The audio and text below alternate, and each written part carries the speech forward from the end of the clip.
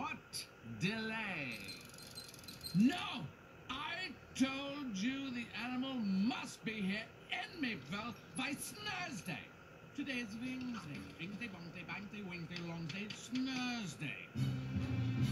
Yes, I know I have a lot of other animals. I have the most impressive collection of rare and exotic creatures in the entire northeastern quadrosphere. Thank you very much. But compared to a Chickeraffe, these guys are all just a bunch of losers. Yes, you are.